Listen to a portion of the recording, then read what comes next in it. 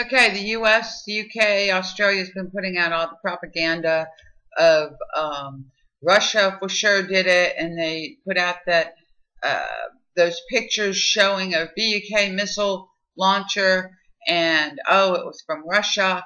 And if you go and do a search about Russian missiles, you'll see, oh my gosh, Ukraine says it's proof they they shot it, and that's all on the MSM, all right, and uh, throughout the US and the UK.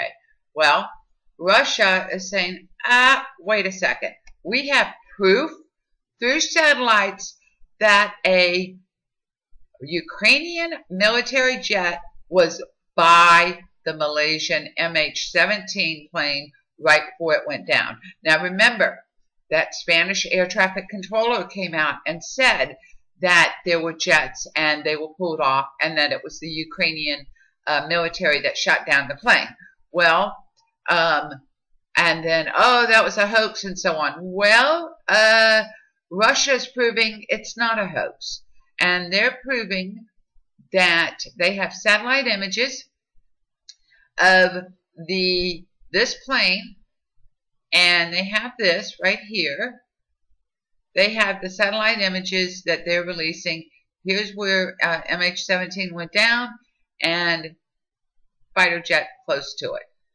They also are releasing images showing the Ukrainian military had BUK missile systems right here along in Ukraine near the um, eastern area there. And here they're showing various military. And then the next day, they're gone.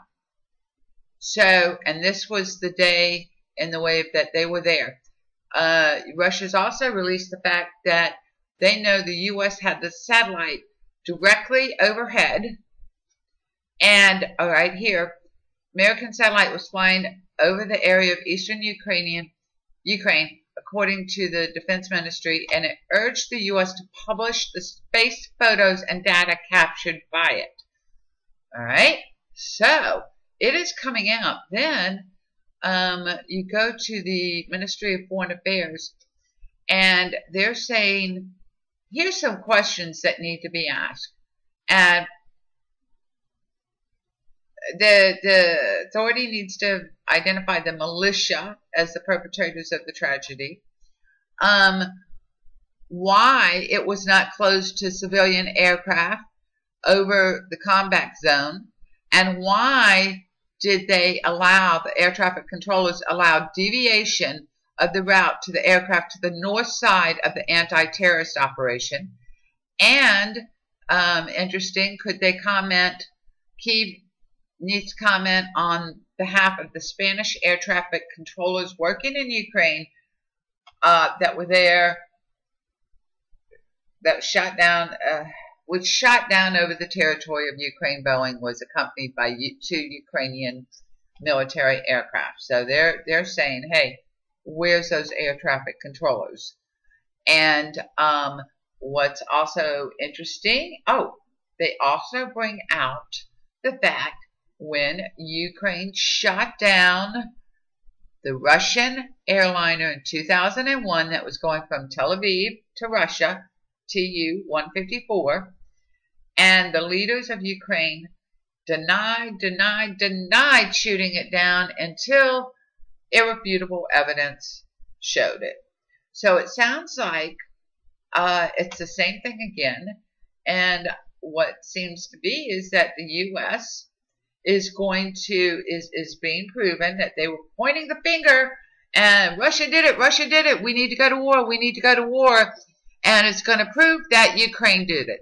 And I'd like to know where the U.S. is going to stand with Ukraine military and um, president when it's proven Ukraine military did it. Are they going to be go? What what are they going to do against uh, uh, Ukraine? May, may I ask? I mean, won't that be interesting? I mean, we already know they wanted to go to war with Russia over it and major sanctions and so on over it. So I assume the U.S. will take the same stance with Ukraine. What kind of sanctions will they do against Ukraine? What are they going to do against Ukraine when it's proven the Ukrainian military shot down MH17 and tried to blame Russia for it?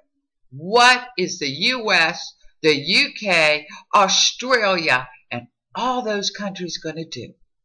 I can't wait to find out.